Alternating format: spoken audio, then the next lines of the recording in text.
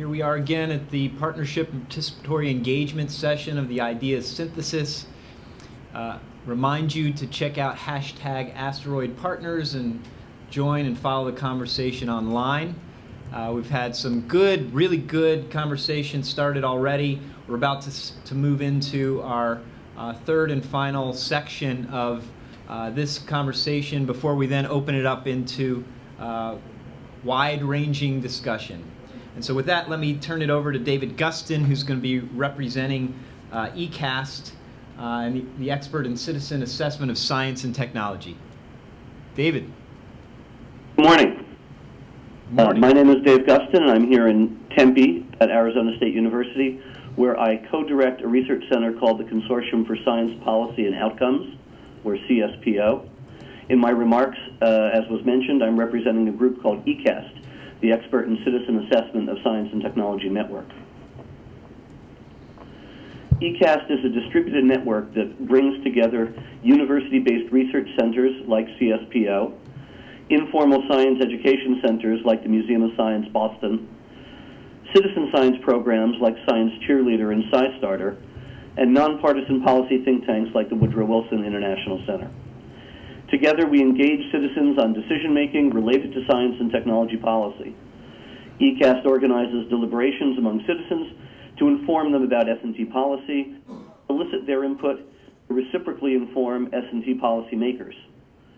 ECAST's methods are designed to enable participants to formulate and articulate their own questions so that policymakers may better understand and take into account public values around S&T. The grand challenge of the asteroid initiative, the asteroid initiative addresses, is find all asteroid threats to human populations and know what to do about them. Part of that challenge is also communication, to engage in broader conversation with those who are not thinking of or not working on or not caring about such an initiative. Despite the clear articulation of the grand challenge, there are values inherent in the question that are not completely owned by the current community of interest, including advancing human space exploration, expanding planetary defense, anticipating spillover effects of technologies, and charting the nation's future role in space. Thus, statements like that in the August 17th Washington Post rarely has the agency proposed an idea so controversial among lawmakers, so fraught with technical and scientific uncertainties, and so hard to explain to ordinary people, that suggests that a wide frame and a long duration public engagement process is crucial.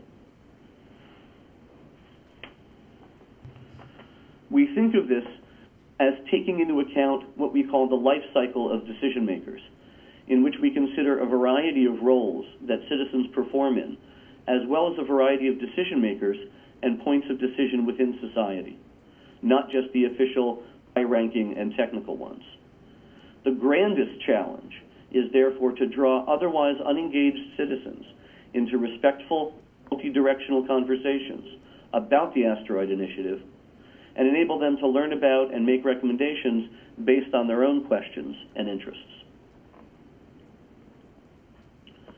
Aspiring to this more active, engaged role for citizens, rather than just have them be passive understanders of science, is part of a broader approach that we call anticipatory governance which involves, in addition to public engagement, open-ended approaches to foresight, for example, using scenarios rather than predictive modeling, and thinking about plausibility other than just risk, and integrating knowledge and approaches across disciplines, for example, by encouraging collaborations between natural scientists and engineers on one hand, with social scientists and humanists on the other. Taking these aspects ensemble and allow for the reflexive governance or management of a new science and technology in an informed and socially robust fashion. A plan of action for increased public understanding of and engagement with uh, the asteroid initiative could include soliciting informed, structured feedback from citizens in multiple geographic regions, creating long-term feedback opportunities for the long-duration asteroid initiative, and providing an on-ramp for citizens to learn by doing through other related and ongoing activities. This shift from public understanding to public engagement has already been happening in the Science Museum and Science Center community. And it has involved concomitant shifts from public comment to citizen deliberation, facilitated not only by a change in attitude and a change in understanding, but of course also by a change in technologies.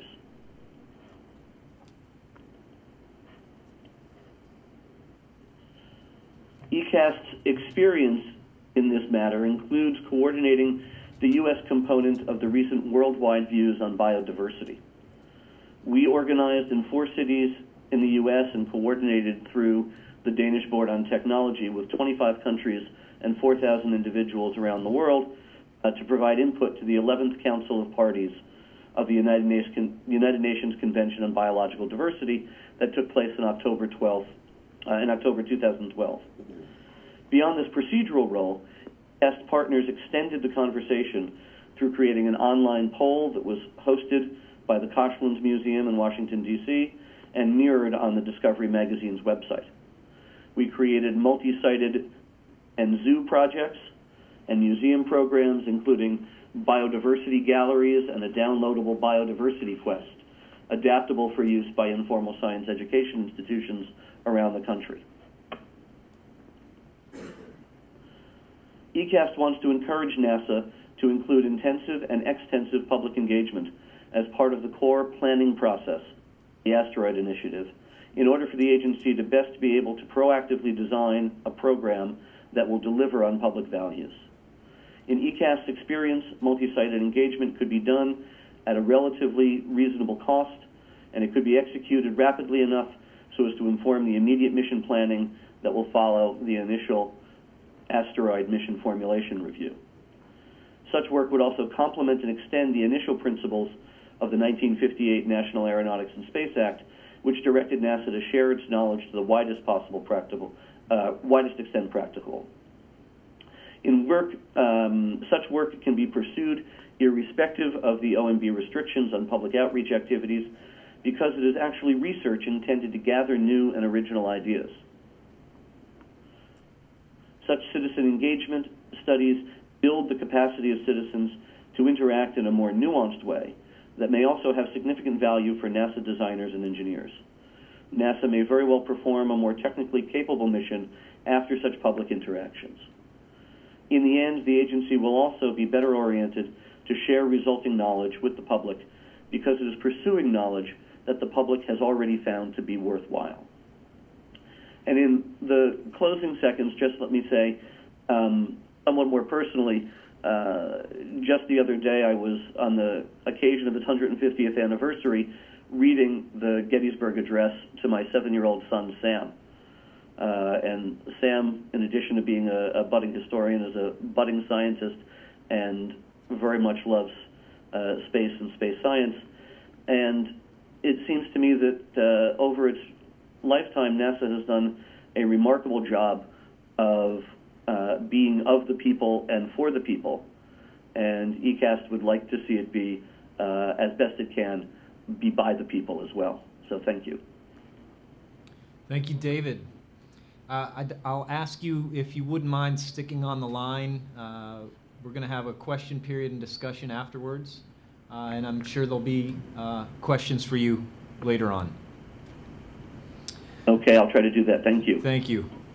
We'll now move to Margaret Race from the SETI Institute, who will also be joining us virtually. Hi there. Um, can you hear me? Yes, we can. Okay. Um, I am also continuing the discussion of the uh, private part of um, the private um, part that we're focused on. So while the grand challenge excuse me, I'm sort of trying to get the, uh, okay, how do I advance my slides? Here you go. Okay. There you go. So we're in the Grand Challenge and thinking about asteroids as both opportunities and threats, and we are thinking about the elements that are related to success. Um, just as we heard from the previous speaker, there's lots more than just science and technology that would contribute to this success. And my talk is focusing on the parts that also involve the public in thinking about these missions, whether they are the resource missions, getting asteroids and redirecting them, or the deflection ones. I'm thinking about the risks to mission success, and it's important to identify and acknowledge that there are other impediments than just the technical and science ones, especially since we're um, starting to go down the um, road towards new activities beyond Earth orbit that have really unique features. And what I'm um, suggesting is a stepwise approach to research and technology development that also includes a systematic approach to looking at these other areas. So um, next slide. So when we think about what's involved in the challenge, everyone is quite aware of the need to think about science, whether it's observing and detecting or um, characterizing and modeling and predicting where the asteroids may be. The technology, whether it's a redirection technology, a deflection technology, or perhaps even exploitation, capturing, and using. And um, we have to think about mission planning. How do we design these missions when we think about the new technologies, proof of concept, whether we're talking about deflecting with gravity tractor or kinetic impactors or nuclear? Um, we also have to think about re- reducing the risks to the mission. And then the final thing is these partnerships that we're talking about, the collaboration and the other. So on the right hand of my screen, if you will look at um, where it says the science and technical experts. The um, generally what we know is that science and technical experts look at what to do and how to do it. We take an incremental approach to things. We do the research and technology development. And in this case, our success means either on the one hand we're going to save the world or develop new markets and develop new space. Uh, next, next slide. Um, oops, sorry. Um, that's how the scientists see it, but here's how others see the risks. The general public um, is saying, you want to do what? Not what are you going to do, but you want to do what? And they're asking questions about should we do it and what could go wrong. And when we think about a natural threat or a phenomenon like asteroids, there's a lot of partial or misinformation out there, in some cases even disbelief belief or conspiracy theories.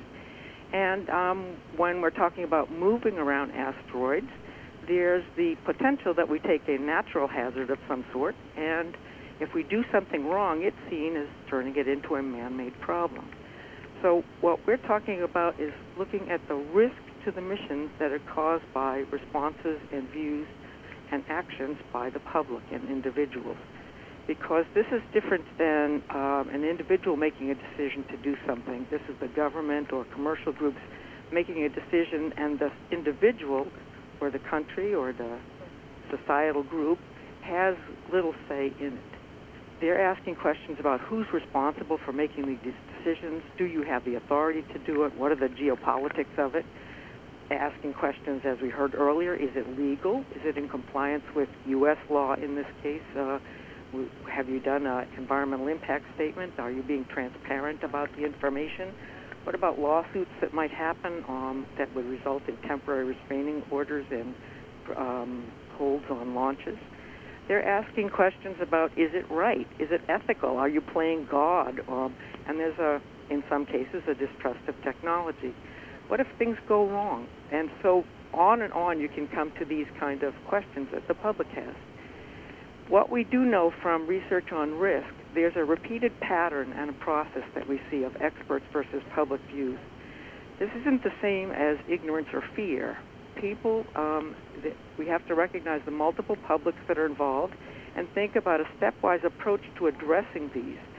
Um, I'm coming at it from my experiences on the Mars sample return mission, where the risks have to do with bringing back potential life from outer space that might be biohazardous. And so we identified and addressed all of the potential mission impediments, legal, psychological, uh, psych, um, uh, risk perception that people may have, uh, education and outreach that may help it. And we took a systematic approach to exploring these new areas. And in the case of the features of asteroids as threats and resources, the public really is um, generally uninformed about it. They just don't know about it. And they do have unique concerns and we're entering into new areas that have legal and policy questions that are beyond Earth orbit. If you look at the scientist and technology view of hazardous asteroids, for instance, and putting it in the context of the disaster and natural hazard literature, what we're talking about is a general threat. This general threat is looking at how do we detect them, how do we deflect them, and how do we make decisions about them. The notion is, is once you can detect it, and then you can decide if it's a threatening one, you can go ahead and deflect it somehow, and then make decisions at the world level that everybody is happy about, and launch a mission and have an impact and success. And if you're not successful, um, then you can address questions of evacuation or other actions that might be appropriate. But another way to view it is a much more accurate one, which is that we're really talking about more than just a general threat. If you think about natural hazards, there's a general threat of a flood or a hurricane, but then a more specific one once that hurricane gets named as Hurricane Charles, and then an imminent threat to the people when it's coming tomorrow. And so we have to think about those levels of information as we go along because it's far, far more complicated.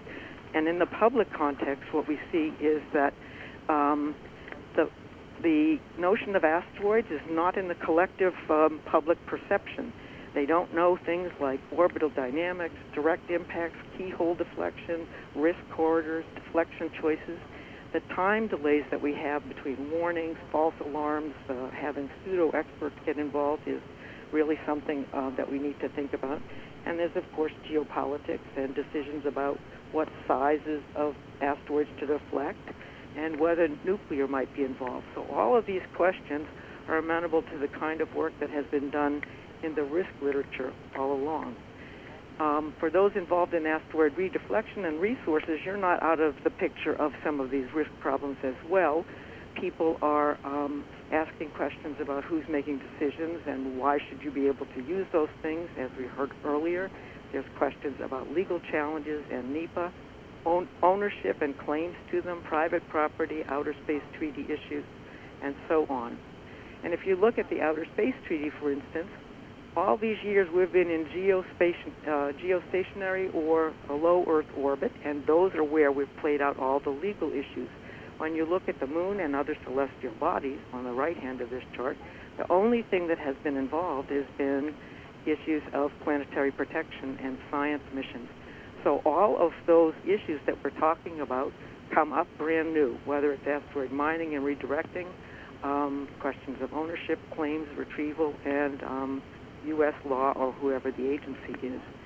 So whether we're looking at asteroid um, challenges as um, the opportunities of using the resources or the threats from deflection, there are a lot of other elements beyond the science and technology. So for the path forward, it's important to also think about those and include them in the stepwise approach. Include research drawing from the experience of the natural hazard literature. How do we link this in with the FEMA people and others who will be acting upon it?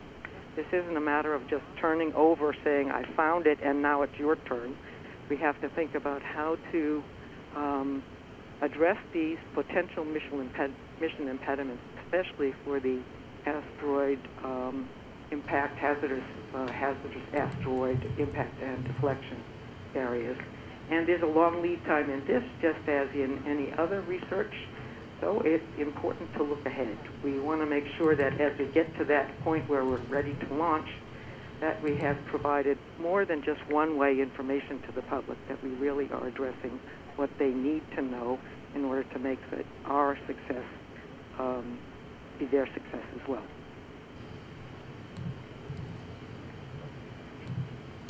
Thank you, Margaret. Mm-hmm. And I'd also like to invite you to stay on the line as uh, we'll be moving into questions and discussion after uh, we finish with our presentations, if possible. Okay. Thank you. Next up is uh, Joe Lepore, representing Space Design Corporation.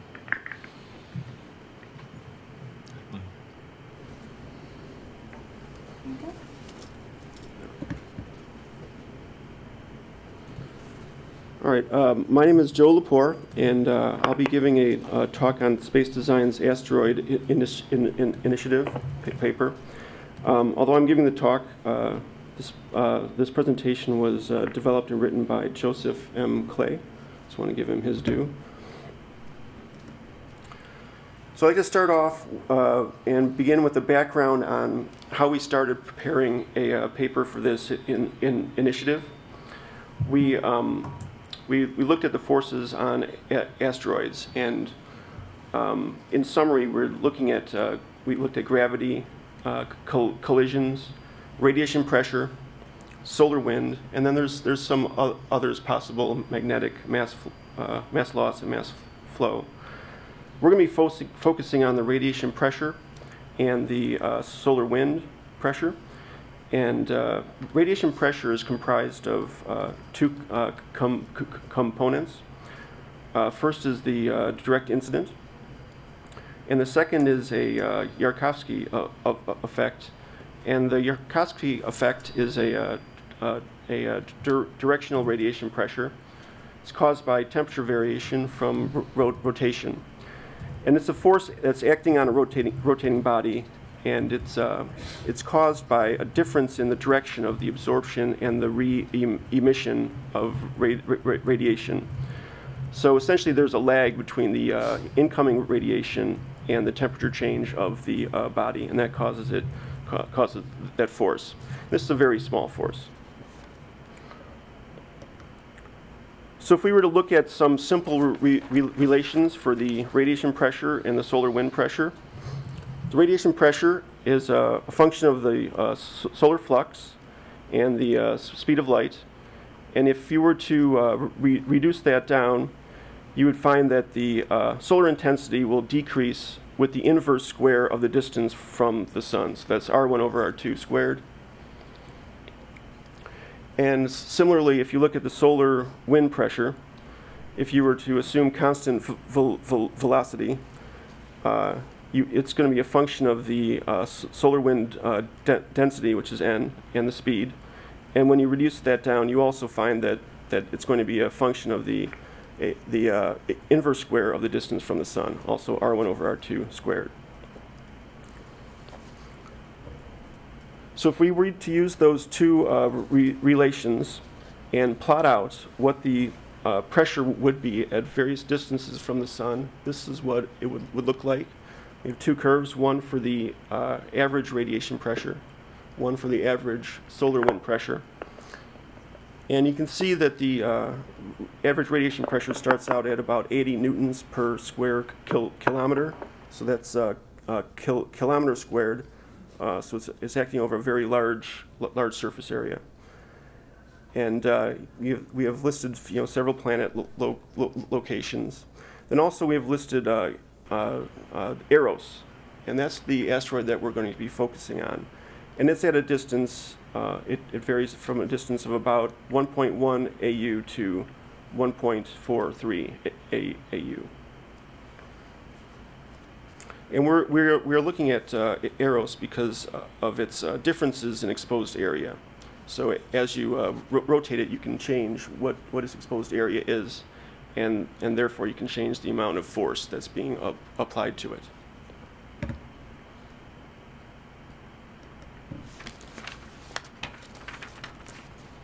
So looking at the control of the radiation pressure and the solar wind pressure, both pressures can be controlled by changing the, the area exposed towards the sun if you could the, theoretically uh, ro ro rotate it. And there's our test case Eros. And we, we're looking at a, a conservative minimum uh, uh, area, exposed area of 98.5 square kilometers, and a, a maximum area or a, uh, a, a lib liberal value, maximum, maximum of uh, 374 kil kilometers squared.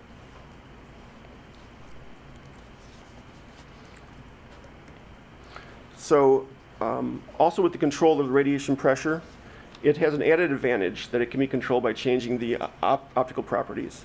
So if you had a, a optical property on the surface that was black, that would be having a solar abs absorptance of 1.0. And if you were to, able to change that and move off to the right on this, on this chart, you could go all the way to absorptivity of zero, which would be a specular mirrored surface. And, and by doing that, you would, would be able to effectively change the magnitude of the radiation pressure by a factor of two. So that's a, a, a second way that we can con, con, control the, uh, the uh, force. So if, it- now if we look at what the maximum forces are um, at the apogee and the perigee of uh, Eros, what we, we look at here is the, uh, the, uh, the delta, since we're able to, uh, or we, we can theoretically rotate the Er- Er- Eros, we can change what its exposed area is.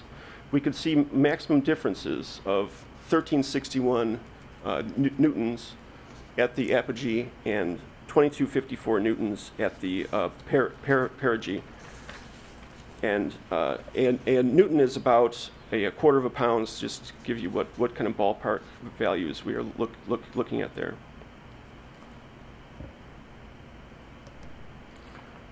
So now if we, if we theoretically move the Earth into the path of, uh, of uh, Er- Er- Eros, so this is not the actual location, obviously, but just the, the, theoretically, if, if, if we did that, we're looking at what, what would the delta V on the far left there, the delta VB, have to be in order to change the path of uh, Eros so that it would, would then, then uh, miss the Earth. So you need to change it by at least the, uh, the radius of the Earth, which is 6378 kilometers.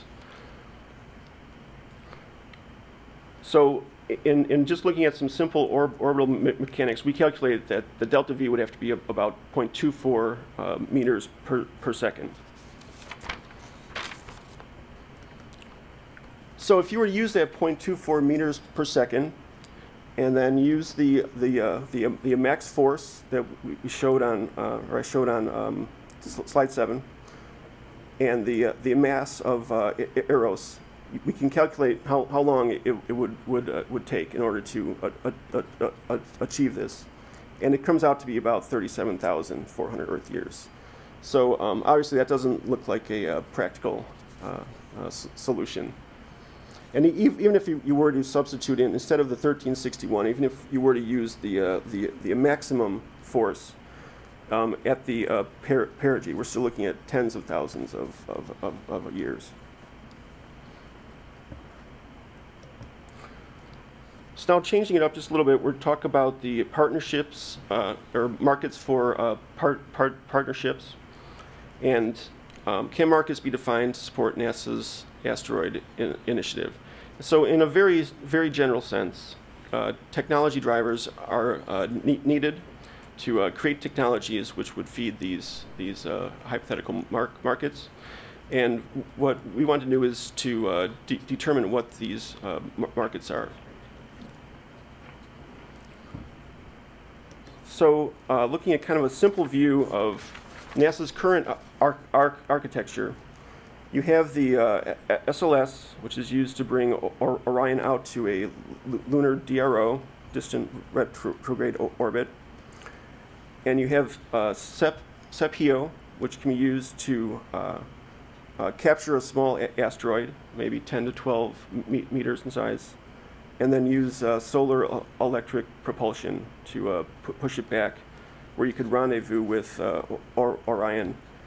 And then you could do a um, EVA to, uh, to go off and uh, e- examine and uh, st- study it. So what we're looking for are markets to fill this type of arch- arch- architecture. Okay, almost done. Um, and one, one of these would be that after this type of, of a mission is complete, then the asteroid is, is uh, left there at the lunar DRO for, for further study. So in conclusion, the radiation forces and solar wind forces are significant but not capable of full-scale asteroid deflection. So uh, other forces must be found to successfully de- def- deflect the asteroids. And market forces could be used to guide the NASA architecture and per- perhaps a public-private partnership could uh, help. That- that- Thank you, it. Joe. All right, th- thank you.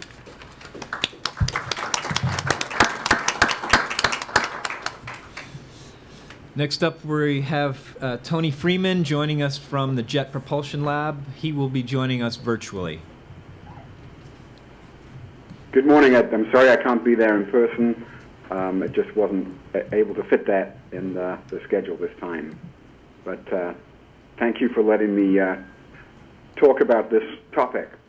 So, what I'm here to do this morning is actually solve all the problems of the asteroid initiative by bundling together all of the ideas into a coherent program uh, that then NASA can defend and move forward with.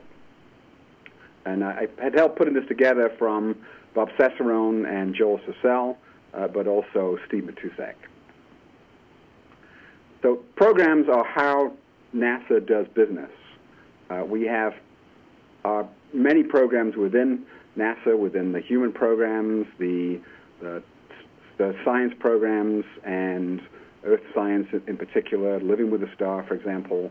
Uh, and the asteroid, asteroid Initiative is very well suited to such a structure. So here's the list of programs that, that we pulled together that showed some of the amazing programs that NASA does. Uh, some of them, like the Mars program, were voted the most successful program in the U.S. government. Uh, that's hard to uh, imagine, but uh, that a NASA program would be judged that way. But you know, uh, we do a pretty good job at this particular uh, type of management.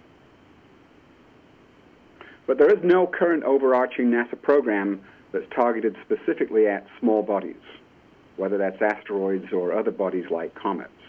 The closest we get is the Near Earth Object Observation Program, which is great, but you know it's a more or less a standalone activity.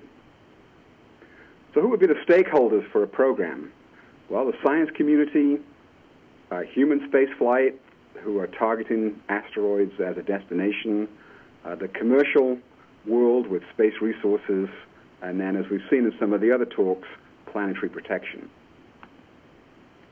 It's pretty easy to map the initiative activities into a traditional program structure with advanced studies, technology development, robotic missions, ground-based observations, crewed operations on the manned side, commercialization, and education and public outreach. So what would the objectives be? Well, they, you could argue about this for days, and I'm sure if NASA set up a program structure, there would be arguments for days about exactly what the wording was, exactly what the objectives were, but it would be something like increasing the opportunities for human space exploration beyond Earth orbit, along the way to Mars, protecting the Earth from future asteroid impacts, and fostering a new commercial space business that uses the resources that these asteroids represent, with U.S. industry leading the way, and advancing key space technologies essential for the future. And if something like that could be agreed on, a lot of decisions become very easy afterwards. To look at the priorities, you could take uh, a sieve like this one, which represents on the left-hand side all of the RFI inputs that bounded into ground-based observations and technologies and science and partnerships and different widgets and payloads, different ideas for missions. And you could bundle all of that together in a road mapping activity that used something like the JPL A-Team to brainstorm, uh, analyze, prioritize, and then synthesize options that were highest payoff for the stakeholder community. And then examine the space components of those in more detail using something like our TeamX, which does a very good job of point designs. So lots of technologies. Uh, I'm not going to list all of them off, but obviously solar electric propulsion is on a lot of people's minds. Uh, robotics and autonomous systems, the kind of sensors we need. There's an underlying base of technology required, and most programs have that, or they go to the Office of the Chief Technologist and say, here are our requirements defined to meet these program needs, and please implement a technology program that, that addresses that. Another advantage to, to having a program structure is you get out of the, the lottery game. If you look at the missions listed here that are NASA, either APL or Goddard or JPL, uh, they're either, when they addressed an asteroid or a comet objective, it was done as a very secondary or tertiary science uh, objective along the way to the main target, or it was done through the, the competition of the Discovery and New Horizons programs. And that's great, and the, that asteroid science has done pretty well over the years. But if you talk to the folks who work in Venus science in the planetary world, they haven't won the lottery ever on Discovery and New Frontiers. We haven't had a Venus mission since Magellan. And past success is no indicator of future performance, as I'm sure most of you are aware. So there's no guarantee that you'll win a Discovery or a New Frontiers competition with an asteroid mission in the next 20 years. So it could be a long time before we see another asteroid mission in the competed world. In a program structure, you get to define your requirements, have some work that's assigned, some work that's competed, and it's much easier to get that uh, addressed. Uh, the items in red are all the international missions that we could identify that addressed uh, some of the objectives of asteroids and other small bodies. And I have to say that NASA involvement in these is, uh, at best, minimal. It's usually one scientist or two scientists on the science team who are, you know, communicating with the rest of the community, but uh, the, the, the missions don't get to ad- address major objectives for a program, which would, would be beneficial.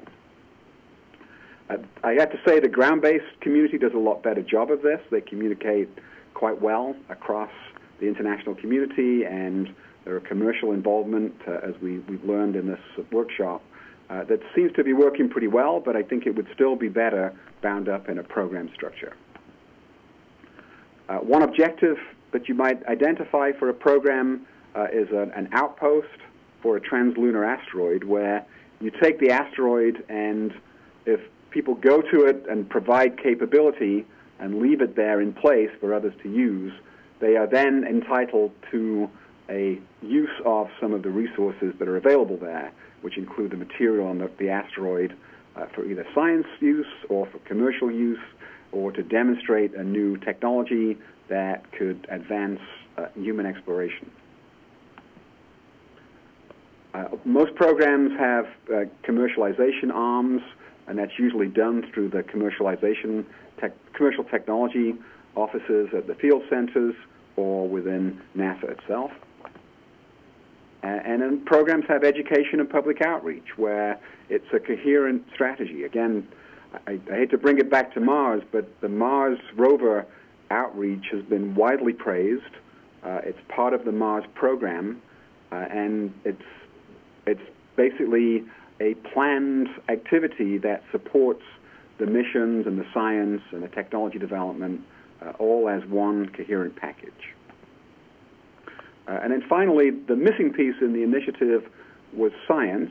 Uh, nothing wrong with that. NASA programs do have uh, elements that are independent of science, but there's enough science going on in small bodies and asteroids in particular that you could bundle that in under the auspices of a program and steer some of those science opportunities towards advancing the overall objectives of an asteroid initiative. So I think that's the the conclusion of my talk is basically this would all be very nicely wrapped up in a bow in a program. It's what NASA knows how to do, and it also gives you a line item in the budget that you can defend to OMB and to Congress and to the National Academy and whoever else has an interest in that. Thank you. Thank you, Tony.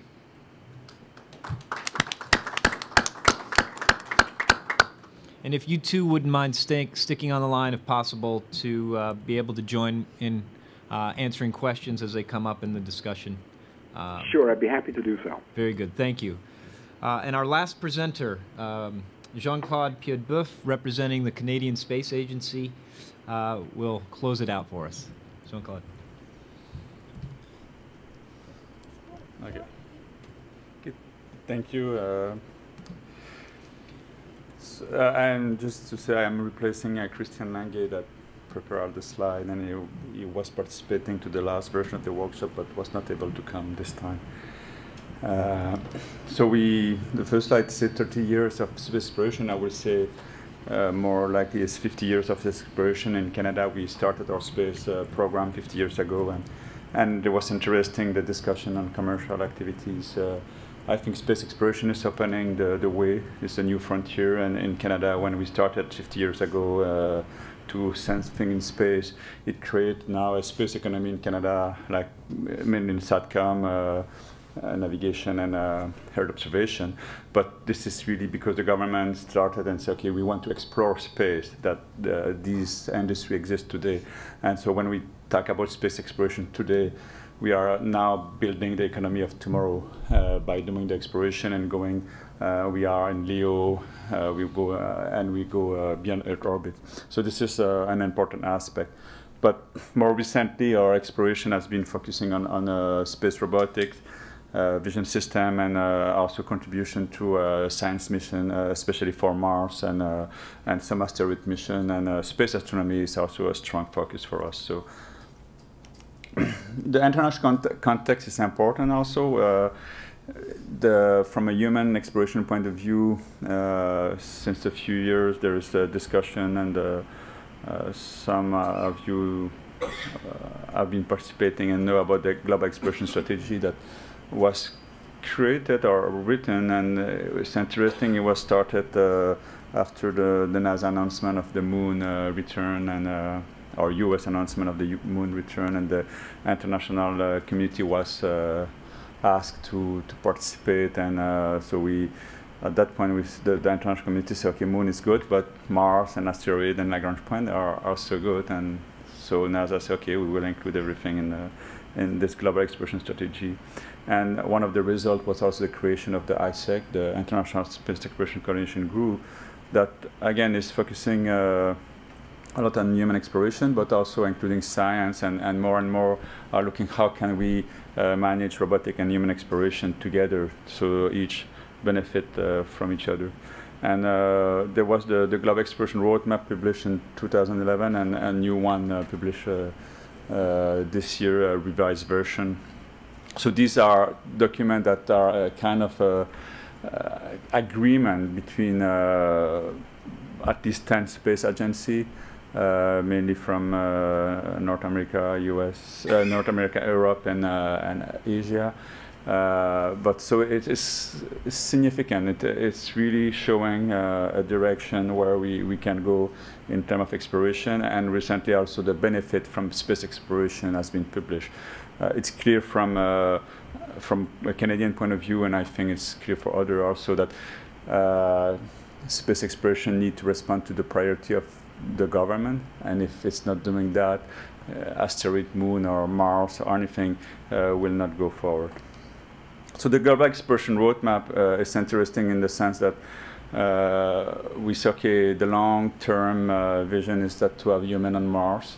Uh, we know we already have robot on Mars uh, since a few years now and, and, and, a recurrent series of missions. So from a robotic point of view, Mars is uh, well, uh, the program is underway already. But from a human point of view, this is the, the long-term view uh, from uh, many space agency. And in the meantime, we need to develop some capabilities to, to go there. And the cislunar space is a good place and asteroid also, uh, it, it's a good way to learn uh, to do that. So from a Canadian point of view, we have been focusing on few technology in terms of space exploration and in terms of the space program in general. And I, I will mention a few here, but uh, I will cover that at, by saying we are focusing on optics and robotics. That's basically vision system and robotics and, and starting a few uh, new things. We recently uh, as part of the 2009 Economic Action Plan, government gave money to uh, additional fund to the, the Canadian Space Agency, and we developed the next generation of the space uh, arm, uh, which is an advanced generation. And this one could be used uh, for uh, space servicing and, and an asteroid mission uh, to retrieve a sample or to basically capture things. So this technology is especially the small arm that you can see here, which is like the Dextre, which is on the space station right now. It's, uh, it's not far to be ready to fly, and we have a new uh, long arm that is uh, telescopic boom now, so that can fit on a on smaller uh, uh, launcher vehicle as compared to the, the space shuttle where the, the Canadarm2 was launched. We have been working also in active vision system for quite uh, some time. Uh, Canada started with a kind of optic vision system uh, in the early day of the, the space shuttle and the space station and realized that optic it's not easy in space because of the lighting condition, and so switch really uh, to the kind of laser-based uh, camera. And since then, we have been using that for many uh, activity, and one of them is the when the, the shuttle needed an inspection system. Uh, NASA went to a company in Canada to procure that uh, system because we have been developing uh, and, and it was already demonstrated for space utilization. On the Phoenix mission, a Mars mission, we provided again another LiDAR system to measure the atmosphere.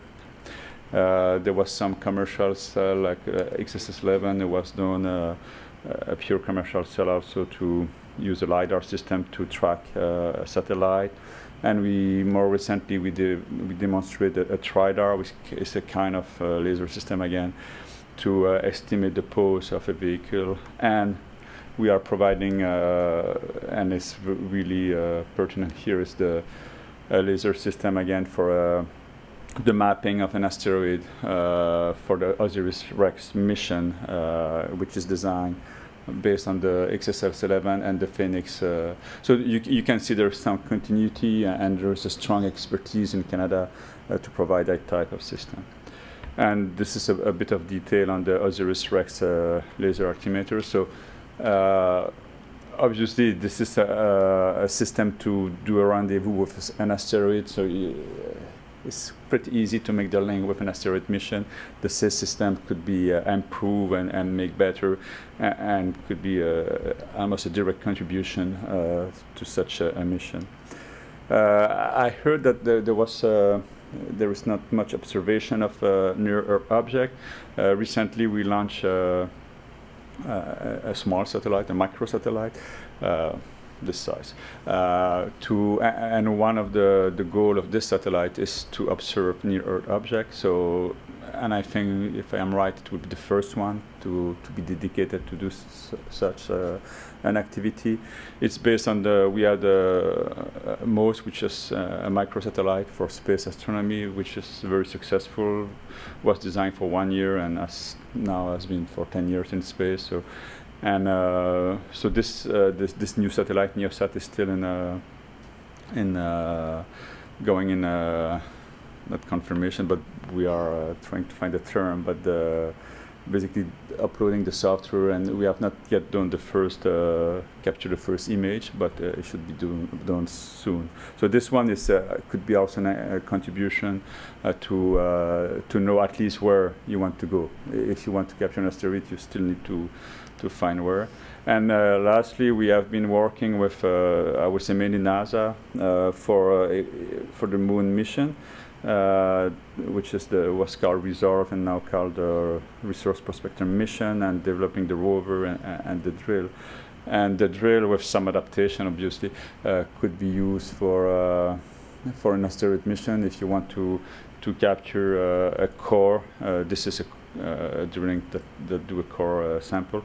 And uh, we have also a mini core, which is can be used just to do a, a, very small core. So the, the, the drill can do, I think, one or two meter core now. And uh, so that type of technology with uh, some adaptation because it's based on uh, here on gravity and moon, even if the gravity is slower, there is still some gravity. So in conclusion, the this asteroid initiative is uh, is uh, interesting. Uh, we will follow that closely and see if it's materialized in a in some in some real mission. and, uh, we have the, the industry in Canada has the, the capacity to provide something, and there is uh, some interest from a, a, Canadian point of view to do so. Uh, so we, we are looking to that, we are studying that, and, and we think it's a it's a good, good opportunity for uh, for Canada to position the, the, the, Canadian industry, and obviously it's need the government. Uh, it has to uh, be based on government priorities, and in Canada we we are revising our space program, so we we will follow that uh, very closely to see if something can be uh, contributed. Thanks. You.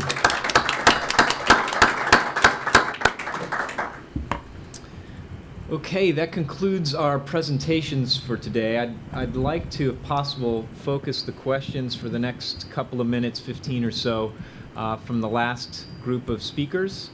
uh, and then we can transition in uh, in more of the wide-ranging discussion of uh, covering all the ideas that, that have been brought forth. So, uh, Joe, do we have anything coming in? Yeah, um, actually, more of a comment than a question for uh, Dave at, uh, David at uh, Arizona State. This is from Linda Billingsley. She uh, um, indicates that there's a need to engage all, um, everyone to participate in the del- in the deliberations and invite disruptors uh, into like-minded groups. And I don't know if he wanted to uh, expand on that any at all. Uh, thank you to, to Linda for that uh, comment or question. and the invitation of disruptors into groups of uh, engaged in public deliberation is a great idea for certain purposes. And there are times when uh, you want uh, those disruptions, when you want to have some divergent thinking, when you want to uh, shake things up, and there are other purposes uh, for which you need uh, more convergent thinking. And you know, I think that should NASA or any other uh, agency decide that it wants to engage uh, in a broad-based public deliberation activity, uh, it has to be very clear about the kind of uh, public engagement it wants and whether that role will be to open things up a bit, um, broaden and disrupt some current thought, or whether it wants uh, some more convergent kinds of recommendations. And you have the same kinds of uh, issues that crop up with technical advisory committees as well that operate under consensus or that uh, operate under different kinds of rules and that get different direction from the agencies to which they're giving advice.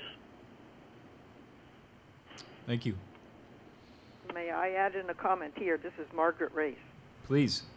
Okay, the disruptors idea is a very good one because um, there's what we need to do is be be mindful of the fact that this is not single discussions, single decisions that are being made.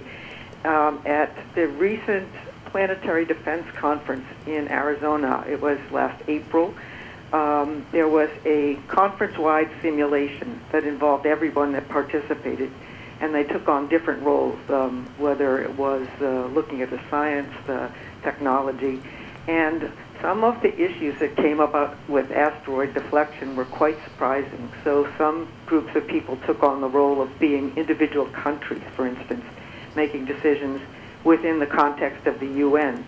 And they actually voted against the asteroid deflection. Um, there are questions of having a nuclear launch, for instance, who would that outer space treaty would have to be waived in some way and we don't have a proof of concept. So there are risks at many, many levels, and the idea of bringing in disruptors or at least acknowledging that these risks are real is something important, and that's what um, I think both David and my uh, focus is on, thinking ahead to the kinds of risks that can come up to the mission and the kind of success that we want to see but those risks are coming in areas that we can't necessarily address with science and technology.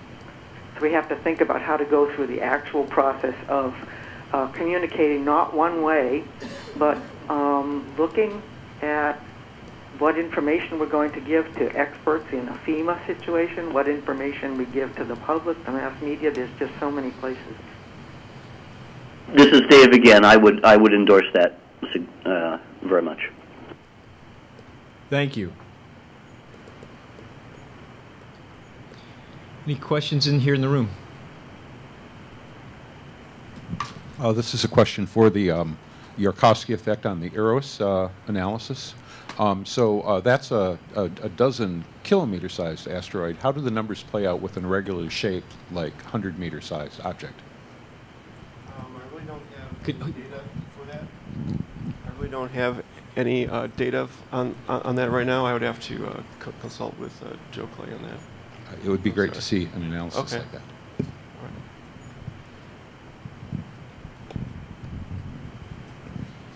Any other questions for this last panel?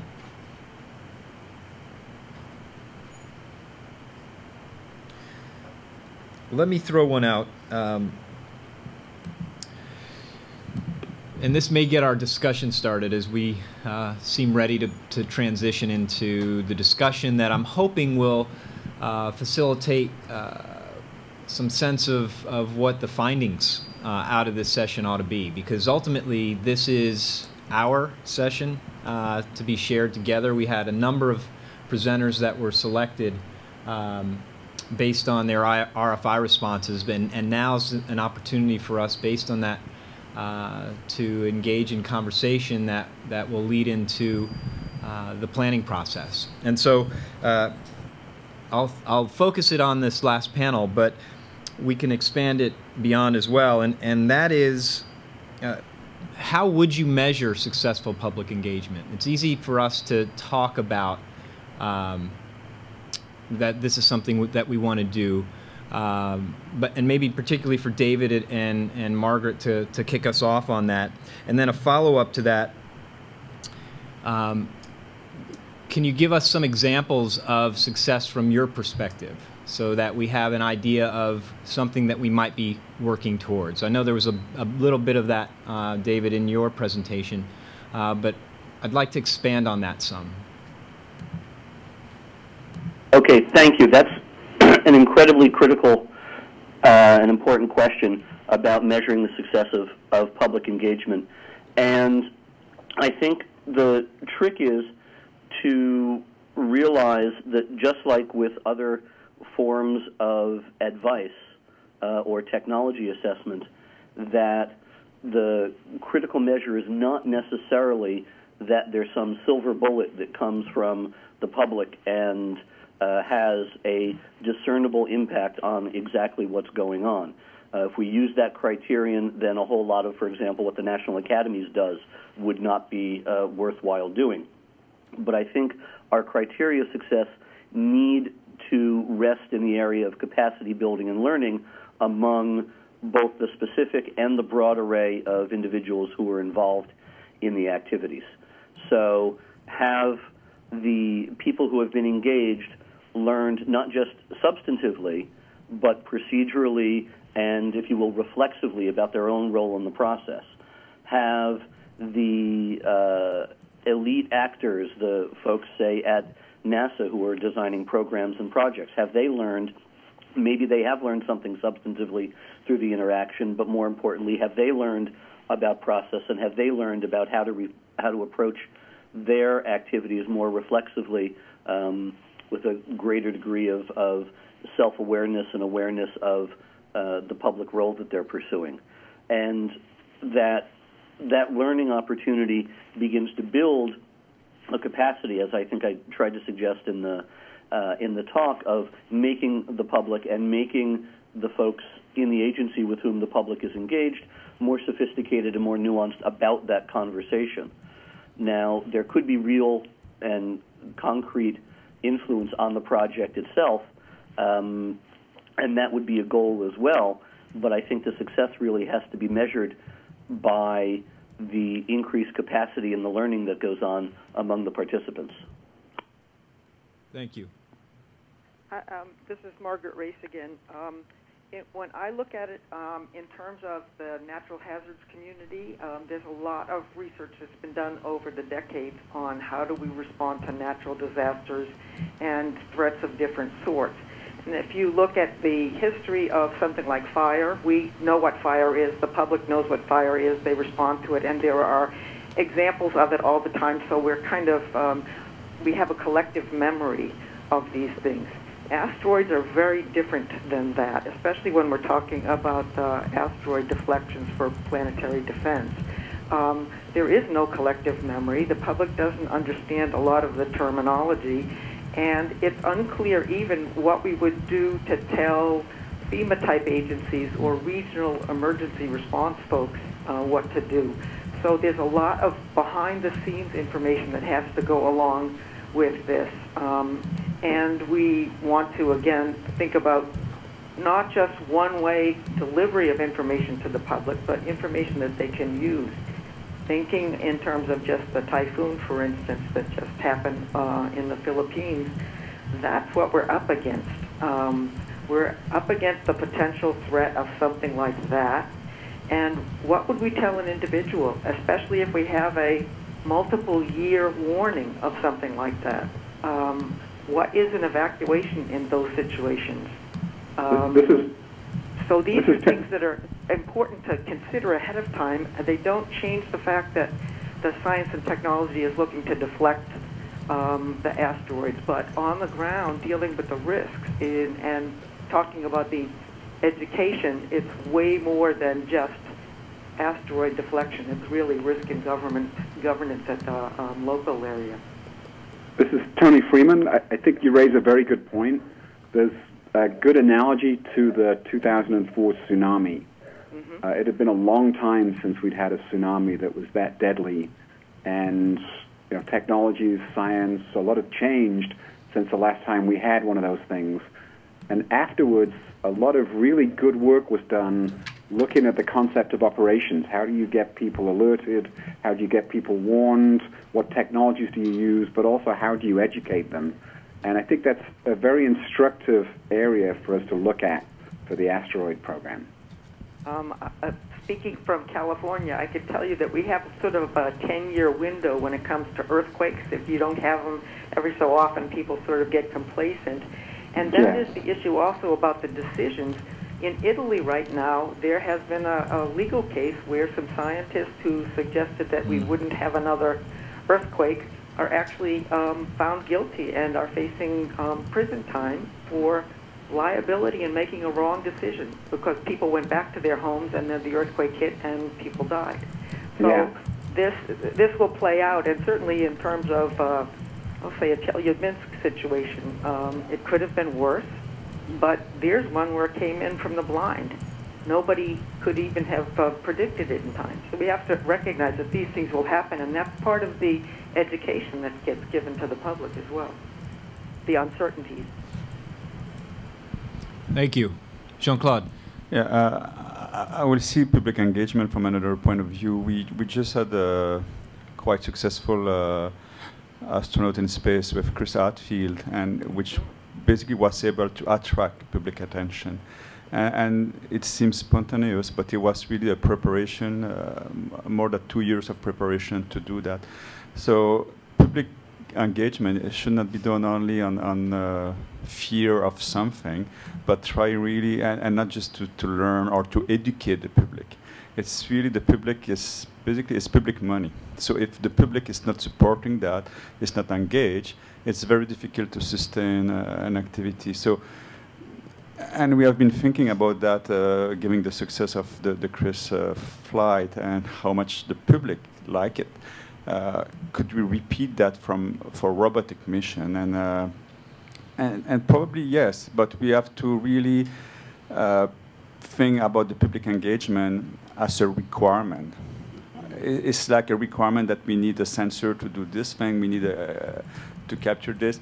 We need some requirement that will be linked purely to the the public engagement, and, and this has to be think uh, very early in, the when you design the mission, and not after the fact and say, okay, we we do that for science or for uh, protection, and then oh, by the way, we need now to engage the public because this is part of our mandate, and so it's really something you have to be ready to spend money on engaging the public and maybe adding an HD camera uh, on your system, which has no uh, scientific goal, which has no technical goal, but you will provide nice image and, and you have to also to engage the public in all the difficulty of your mission. Say, okay, now we have this and, and we are designing this, this is difficult. If you don't give the information and you are not using the social media the way it has been used with uh, Chris, then it's very difficult to engage the public. Thank you. The, Um. the, uh, the difference again with the um, on engaging the public with the um, positive parts of space and even the idea of putting a camera on is very good. And those things are very positive, even the Mars missions and en- engaging the public in basic research and exploration. And so the asteroid um, deflection and resource use missions may be perceived differently there than the risk of a hazardous one. So there, there are two different kinds of communication that has to happen. And I agree that the public engagement of a positive sort is very important, but we also have to address the risks on the other side. When I hear the term engagement, I actually think a little bit more strongly than in the context it's being used here. Um, I think engagement is something that's deeper than simply being, a, you know, a click-through on a web link to a mission page. I think if you want to engage the public, it's going to involve things that actually actively get them to participate in. And I'm not sure what those things are, but I know that certainly in the world today, people engage by spending money. They speak with their pocketbooks. They speak in career choices. They do other things. And I'm just not sure that these passive observations of missions are sufficient engagement to really make this work out in the long term. Uh, before we jump into um, further thoughts, uh, Jen reminded me we're going to be uh, focusing on that very thing this afternoon in the crowdsourcing citizen science, as well as the next gen engagement tomorrow morning. Uh, so we will have an opportunity to kind of dig in there a little bit. But I saw a bunch of hands go up, and there's a mic up in the uh, audience Well, already. Do you want me to wait then? Please. Well, I was just going to say, uh, along those lines, uh, there are in fact several ways you can engage the public that are not just the follow along, read up on the stuff. And in fact, we're we're engaging several different uh, platform, different companies where the crowd is used to develop parts of your system, whether that's simple videos or software or uh, PR uh, infographics. And so there's actual public ways that you can get people involved in the development and operations of your missions. Uh, and there's lots of those platforms out there now. So uh, we work with them, and that's a little plug, but we can talk more about that this afternoon. Um, Regarding the, Is, go ahead. This is Dave again, if I may. Please. On the strength of uh, of public engagement and the way that the say ECAST and the the Science Museum and Science Center community has come to understand it is that the difference between the sort of public understanding, which would be the click-through uh, activity, and public engagement is really about a two-way conversation and one that goes deeper than simply technical understanding but has to do with understanding the kinds of values that are brought to bear on the agenda and the framing of any particular initiative and I think that yes, a lot of those crowdsourcing techniques are able to engage people in the sense that they become active participants in the research, in the exploration, which is wonderful, but that tends only to happen for people who are otherwise paying attention.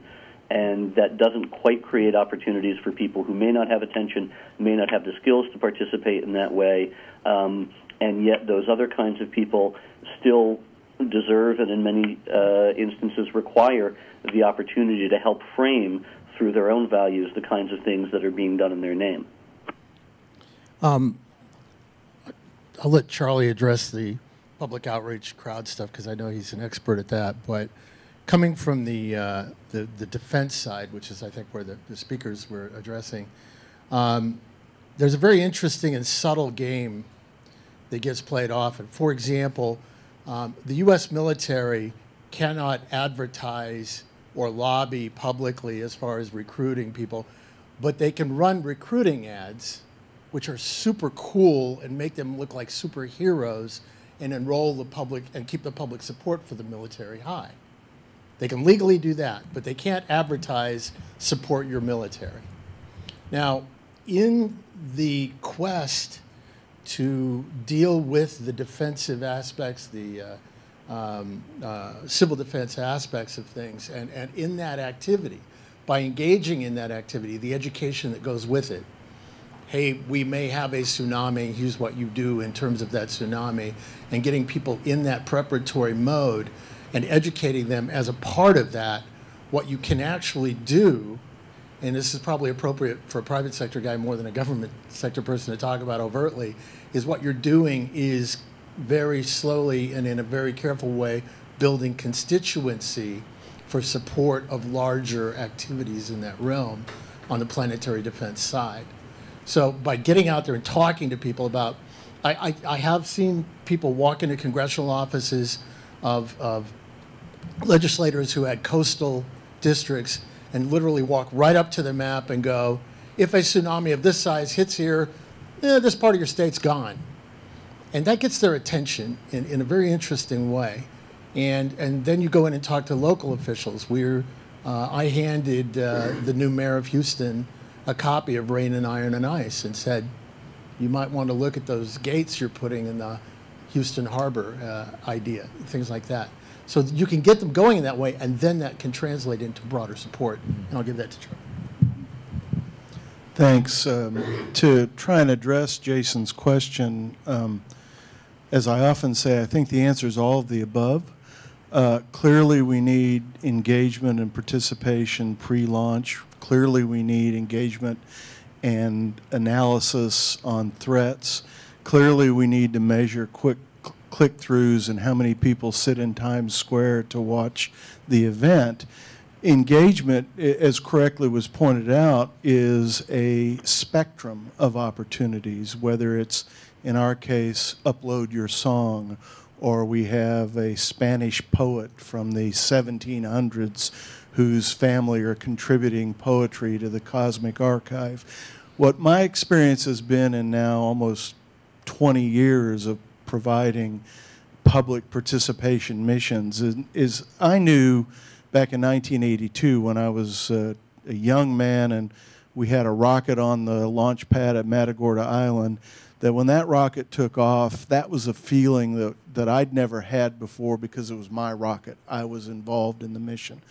The same is true for our Celestis missions. When they know their, when the families come and they know their loved one is fulfilling their dreams, that's a connectivity to what might otherwise be a very boring mission of a Korean satellite into space that carries on and interconnects over generations. Uh, for Sunjammer, we've created what we call mind files and bio files, where you can send yourself uh, into deep space as part of the archive. We'll have an interactive mission control. We'll have the first private mission control uh, that uh, will permit people to come in and uh, after certain uh, qualifications actually steer the, the spacecraft. So there's uh, innumerable, the public's hungry to be involved in space and to be directly involved in space as opposed to watching, what's the phrase I heard, a few highly paid civil servants orbit the Earth. That's great work, but the public doesn't necessarily connect to that. When they're really involved, personally involved in some way in that mission, uh, as I mentioned to the owner of the rocket that we flew on last year, you may think that's your rocket, but I've got 500 people here with families on board who know it's theirs. And that, that kind of connectivity does come from more than just a link following and reading about the information. It's active engagement throughout the mission. And people want it. And not only do they want it, they will pay for it, just as they pay for experiences today. And those funds can be used to do future missions or to enhance current missions. And the fact that we're beginning an era where that's okay, where, where it's no longer, uh, oh, this mission is mine, I'm the government, you can't do anything about it, with it, or touch it.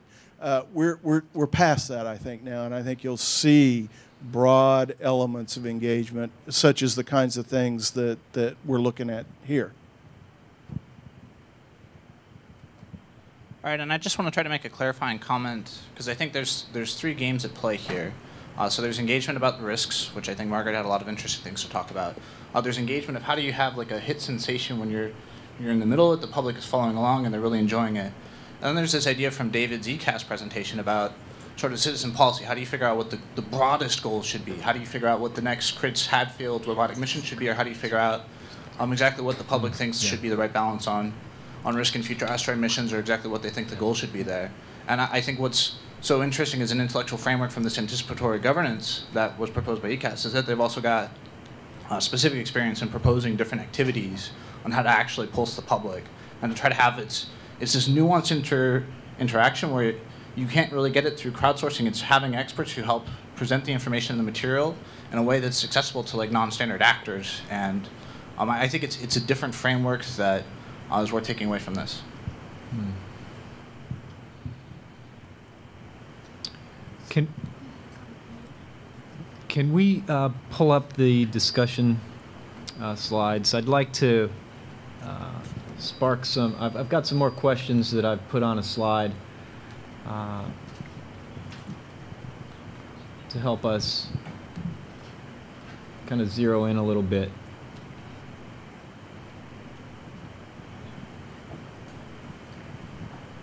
As you pull up the slides, this is Margaret Race again. Um, I think the last speaker speaking about the different ways of looking at communication and engagement is the, the real key. What the problem is, or the the um, the challenge is, is that we have to make sure we in, engage the public in appropriate ways across all the different things. It, it's not just this is not PR. This is not just giving people science information. We really have to be very attentive to what it is that um, and what part of the mission or the objective we're informing people about. And Zach, I would add a fourth category actually, as we're talking about kind of a higher level schema that you started to lay out. The fourth category being the public or individuals meaningfully contributing to components of either the mission or the grand challenge. So the amateur astronomer that goes out and takes the observation, or the folks that are subscribed to Slooh, which we'll hear about later this afternoon, that are actually using um, telescopes that are owned by a broader community and, and, and finding time on that telescope to do observations of their own, or crowdsourcing through existing data on things like Zooniverse, like Planetary Resources is going to be doing. So actually contributing to the meaningful work as well, not just participating in discussions or being informed.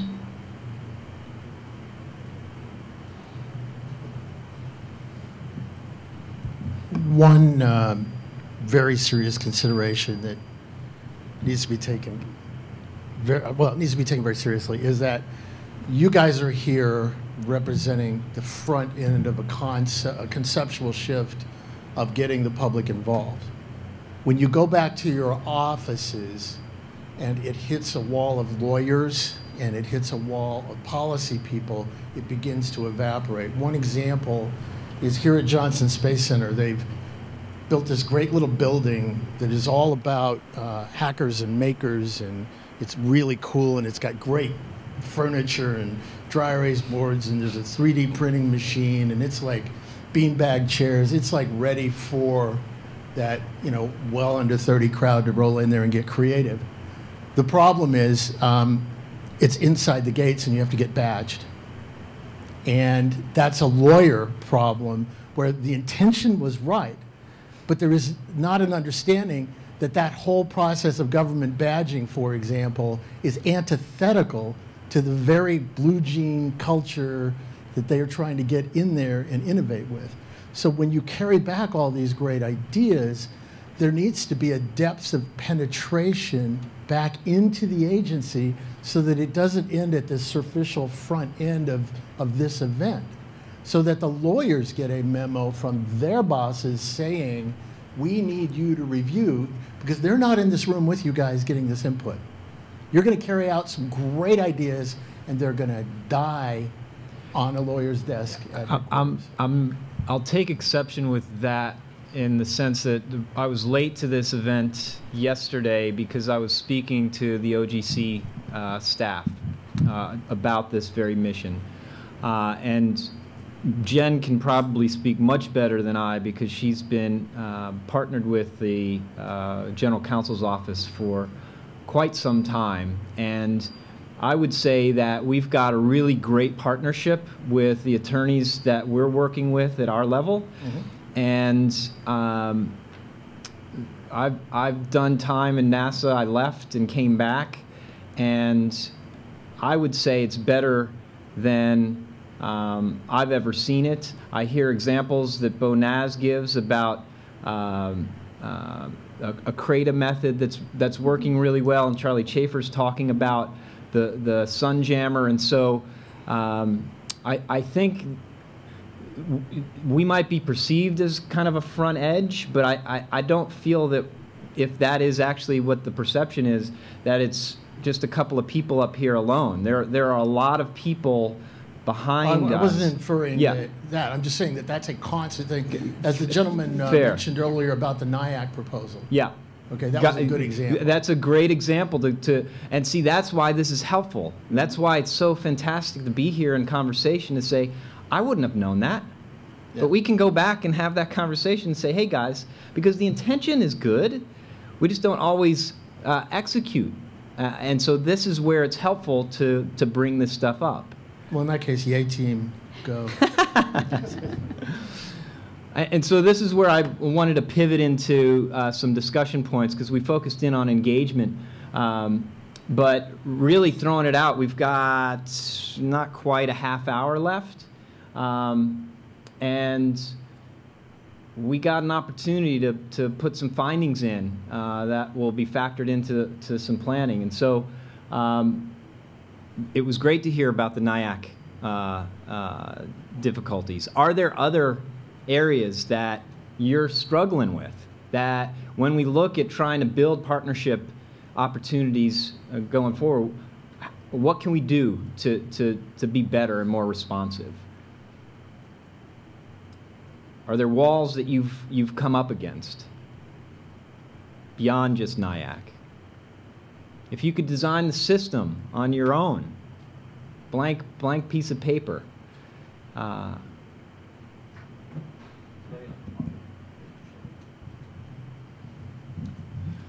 So I'm gonna go maybe go back to Scott's presentation Yeah. as a, as a as a launch point. So one of the things he mentioned was a demo day. yeah, So if you're trying to build something new and different, one of the things you face when you run into the government is they've been doing it their way for quite some time.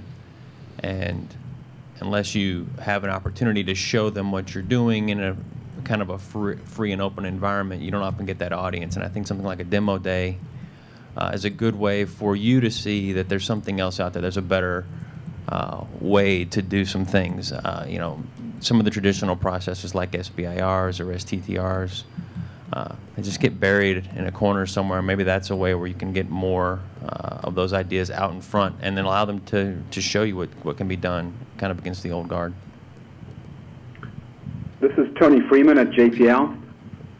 Uh, NASA also have a, a tool, a vehicle they can use to partner with industry called the Cooperative Agreement Notice.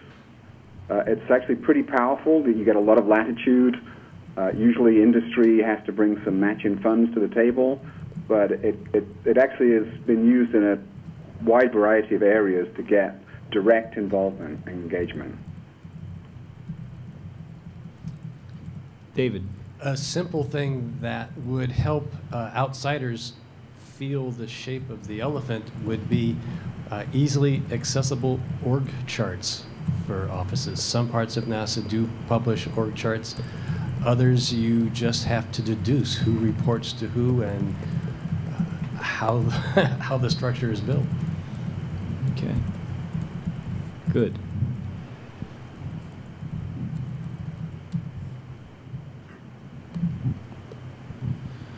And I'd suggest going beyond the org charts back to what are the actual um, technical challenges that are out there.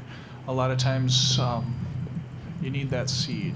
Uh, I think back 15 years uh, to being in college and trying to figure out what to do as a master's project and not knowing uh, what the real challenges were and where there would be value.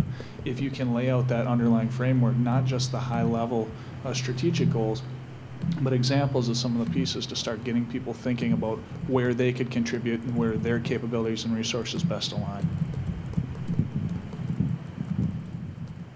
So as, as a member of the uh, robotics concept integration team, you know, I was talking with uh, David and uh, Rick just a while ago, but what would really help us is if you could really identify that just the top three areas that we can take back to headquarters or GERST or whatever and say, this is this suggestion, these top three suggestions would help better enable our mutual relationships.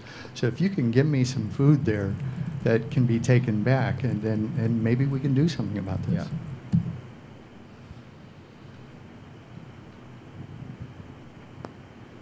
Do we have, do we have a sense of what the top three looks like?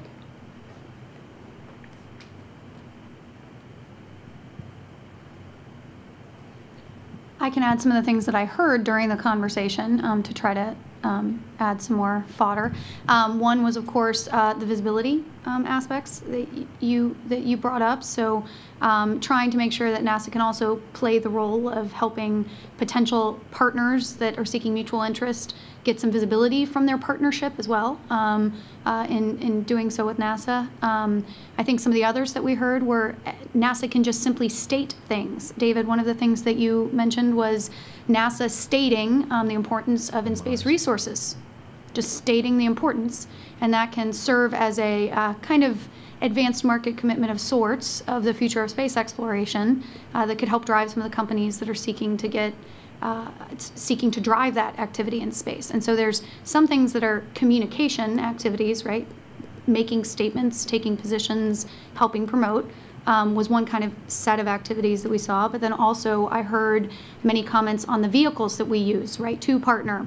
I think it was also you maybe that brought up the uh, 300 pages of requirements that you had to read through to submit a three page document back, right? Um, so the RFI, in many ways, was a first step to engagement. How do we continue that? But the structural kind of elements of how you partner, CRADA or cooperative agreement, as Tony said, or FAR or COTS or PRIZE, or there's many mechanisms um, that could be used differently, but making sure to um, look at which mechanism might further the mutual benefit that everybody wants the most. So it's two that I heard, might be others. So dovetail off of yours a little bit. I think some clarity around NASA's own business model. Where do you want to be the builder doer versus mm-hmm. the buyer versus the collaborator uh, at different points of the mission, and then allowing industry to push back and say, "Yeah, you said you wanted to be the doer of that, but that is so simple why would you spend big government dollars to do that? Or that's the most lucrative. Why would you spend big government dollars? That's where we can be motivated to go do that. So some clarity around that. And I think that gets back to David's point as well. We, if I, if you make that statement that we're going to be a buyer of the service, there are going to be 20 companies pop up and figure mm-hmm. out how to deliver it. Mm-hmm. If you say I'm going to be a doer of this service, well, I'm not going to go build that because I don't have the pockets to necessarily compete unless it's extremely lucrative. Mm-hmm.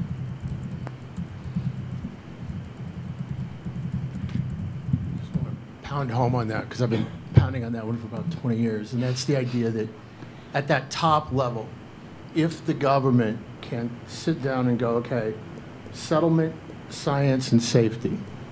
Those are the three main areas we're looking at when we're dealing with with with uh, NEOs, or, or, you know, safety in terms of planetary defense, science in terms of expanding the scientific base of humanity or the U.S., um, and settlement is uh, we're going to be, we're blazing a path for you.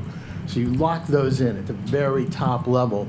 And then bring together some people from the different communities. Um, and this is a part of it. This is a part of it. And maybe some more expert people in a different setting. Um, the ones who are really hands-on, directly involved.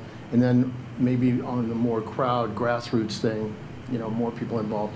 And sit down and go, okay, in each of these areas, once you have that top level decision, your other decisions under that cascade out of it. It becomes clear.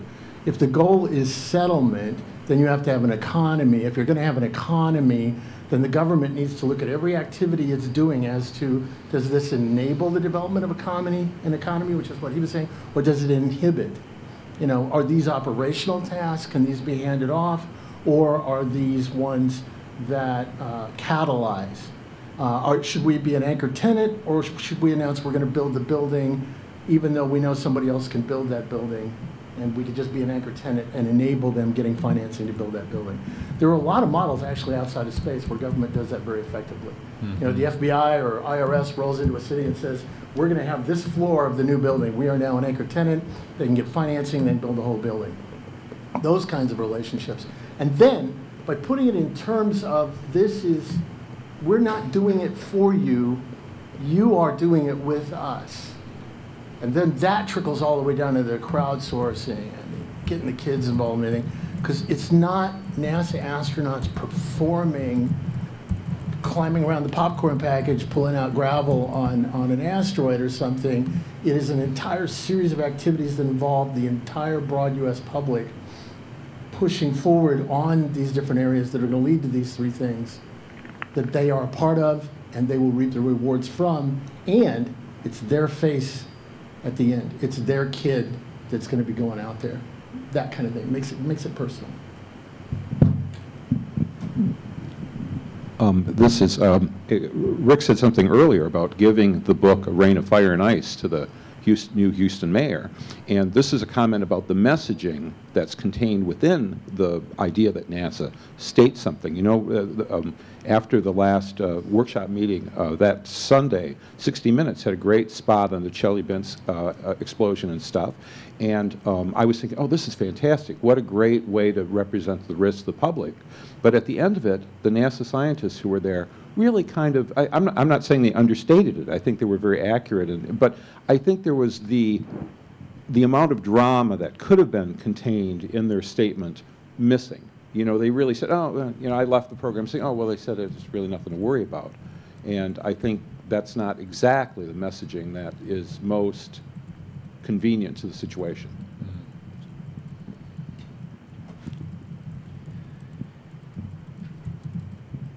This, this gathering and the RFI has been um, pointed to as, as a step. Uh, how, how, how has this felt? Is this uh, valuable? Ha has this opportunity to gather and, and discuss um, been a valuable process? How would you change it?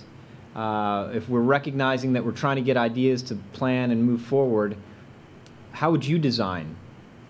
What, what would that look like?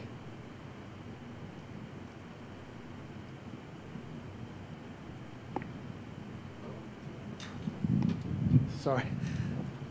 Um, yeah, you guys have been awesome. I, I mean, I think it's great that you're doing this. And again, if you can get the depth and carry it, penetrate deep into that headquarters building in DC, that's great. Or, or more importantly, maybe the center director's offices. That would be even better. But um, the find an auditorium that doesn't have theater style seating. Okay? Because it implies that you're talking to us. Mm uh, might be part of it, or, or, have breakouts that go off and work on focused areas and bring it back and, and that kind of thing. But, but you, I, I, definitely want to say I've spoken to a lot of people, um, people that weren't here the day after the original one got canceled and weren't blah, blah, blah, you know, officially anywhere or whatever, but people who interacted and um, they feel really good about what's happening. And I think you're, you know, this is a good approach. The rest of NASA could learn from you guys on this, I think. So.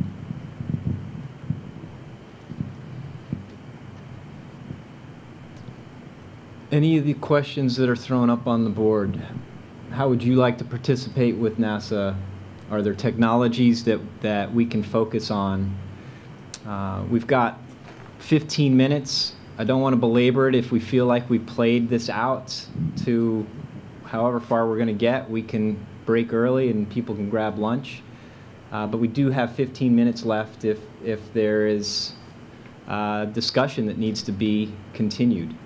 Yeah, I might frame one of these questions in uh, getting towards the statement that you made about the top three things to go back and take to Gerst from your perspective would be what would what would you say would be the top opportunities in the near term window to um, enable and to partner with the commercial sector and the public in general on this initiative to better position it for success in both areas. So what are the opportunities? Thinking maybe about the nearer term stuff because that's the stuff that we need to get moving on, right? But what might be those nearer term opportunities and tactics?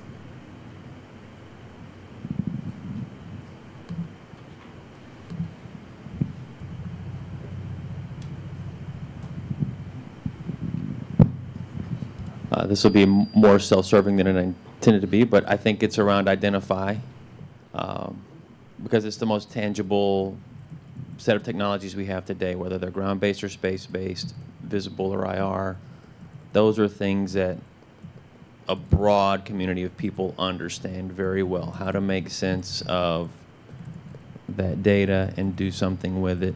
And it goes beyond just the professionals. I think this is where uh, you can get into crowdsourcing. Uh, you can mobilize semi-pros and true amateurs to do some portions of the mission, right? There's a lot that we don't know about asteroids in general, not just where they are, but even ones we know where they are, we don't know a lot about them. Uh, so there's a lot of work that could be done there. Um, in a very in a very quick turnaround where you could reach out and start mobilizing a lot of excess capacity to get back to engagement. I think you want to know if you engage somebody, it's how do they use their excess capital, whether it's their time, their resources, uh, their mind. Uh, I think that can be done in a hurry.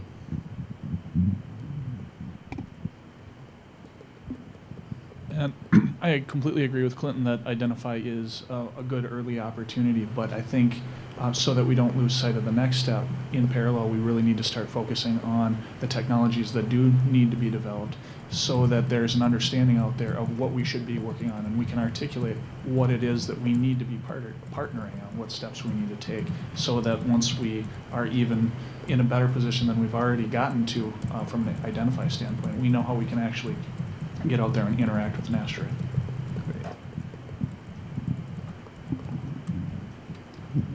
Um, I got the impression that Sunjammer, and I know that B612, these are, are two um, semi-commercial or uh, uh, certainly fundraising endeavors that uh, enlist the public by offering some participation. I know you can give money to these projects and in some way have your name associated with the project. Um, I, if to somehow attach the NASA meatball to that notion of public participation um, seems like something that could be explored.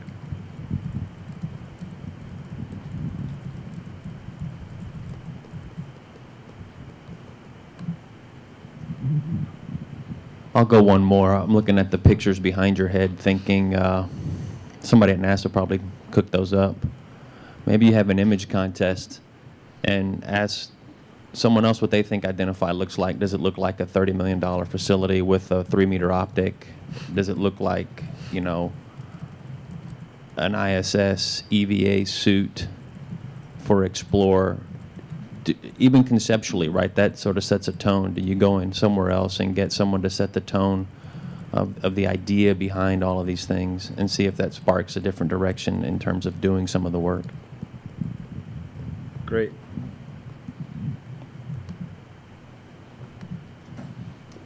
the uh, um, basically it's a bottom. The bottom line is get on with it. Um, operating at uh, government salary pace and aerospace salary pace, especially for entrepreneurial companies like ours, you guys are going to have some sort of industry day next spring. That's a million years away for us. Okay, we're burning investor money now, and as as is the other company. Um, so do it, do things now. They don't have to be the major things, but things that begin to break the catch-22 of can we work with these people? Are they real? How do we prove it? And start doing those things.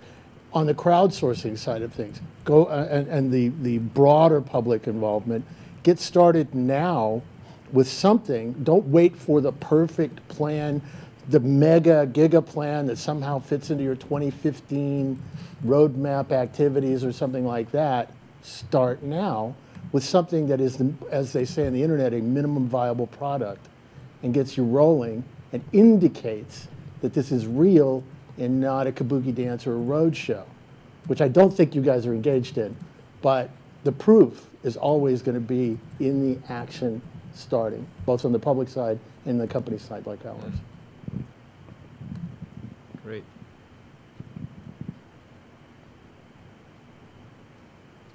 Anything else burning?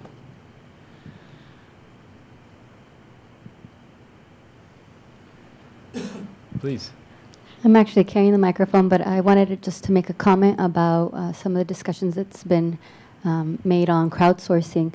Um, there's been some discussion about maybe the informed public that can contribute because they've got the resources or are in groups where they're being able to contribute, and maybe uh, the other spectrum of the general public that might just be informed in this area of crowdsourcing or being able to actually provide um, some sort of funding towards a project or towards an idea, even if it's not fully developed yet, allows people to really feel like from a public standpoint that they have ownership. I really liked the idea of the mind files that go up because people feel part of the mission. Be prepared for, expect, and grow from failures along the road. Not all partnerships are going to work. Not all crowdsourcing is going to get there. I, I looked at one a few weeks back that was a lunar mission that raised $17,000. well, man, if they can do it, I need I need several of those things. But it's really important, you know, when a private guy puts their a gal puts her money at risk and succeeds, she gets wealthy. When she fails, it's tough times. When a government gal puts the agency at risk, which is how any of these partnerships are viewed. They're viewed, oh my God, what can go wrong? What will Congress say when this thing fails? And, and when the agency succeeds, often as not, people go, well, you didn't need that much money, we're going to cut your budget. Uh, but the person gets a plaque on the wall or something that doesn't get personally rich. But when the agency fails, there's a whole city called Washington that I lived in for 20 years that just jumps all over it. And look at you know look at this uh, Solyndra example in space kind of thing. So I think that going into partnerships where you invite goofballs like Rick and me to uh, participate, you got to qualify us. There's no question about that. You can't just enter into a partnership with everybody, but you have to not expect to bat a thousand along the way, and you have to structure them so that people don't get harmed when that happens. But it can't send the agency back to okay, now we're back to Apollo the way it should be, because that ain't going to happen anymore. So be aware that not all of these great crowdsourced missions will ever fly.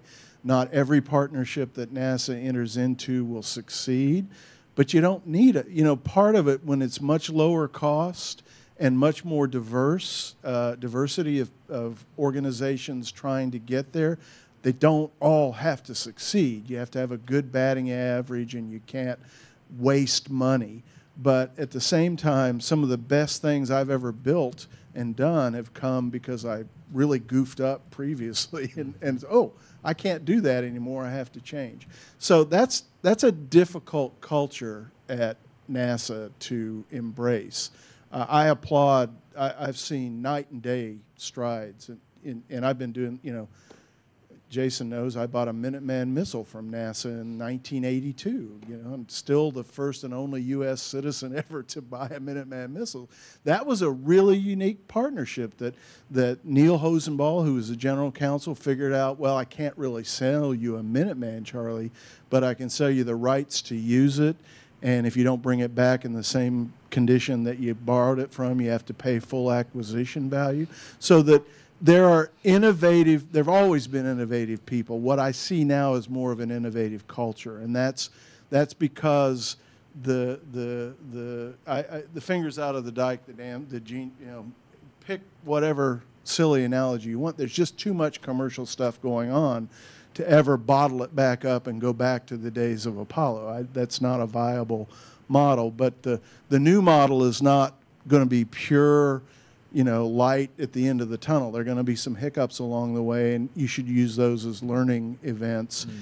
and um, and uh, not not seek out to fail, but not punish failure by saying, "Well, that model doesn't work. We're never going to do that again." Yeah, great. Any other thoughts? Good thought. All right, folks. Uh, I think this has proven to be a really, really successful session this morning. Uh, we had 55 respondents uh, provide ideas that got down selected to those that were presented here today. Huge thanks to those that, uh, all of all of you that took time to put in a proposal. Um, and for those that were selected to, to take the time to then prepare a presentation and come share with us. Uh, and then all of, all of you that joined us to participate in this conversation. I, I really do believe that it is the, uh, the first of many steps forward.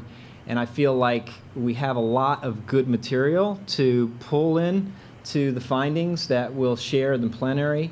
Uh, and uh, really appreciate all your time and energy to, to get us to where we are at this point. So with that, let us uh, close maybe three minutes early. And um, this does not end the conversation. There's uh, hallways and internet and uh, relationships that I hope we've, we've started that will continue this as we move forward. So with that, I thank everybody, uh, and we will adjourn our session. And please remember to attend the crowdsourcing and Ah, citizen science session this afternoon. You can see us again, but in flipped roles. Um, and on Friday morning, you can see us again, again flipped, um, for next generation engagement. And in those two panels, we'll really be talking about meaningfully engaging um, individuals um, in the work of uh, the grand challenge element of, uh, of the initiative. So we please encourage you to come to those and be part of uh, those discussions especially since, um, has been stated by some of the folks in the um, audience, that that's where we're going to be likely doing a lot of the initial work right out the gate um, to get started on this activity. So we uh, would really love your feedback um, since those things are uh, quicker in the hopper. So thank you very much. Thank you.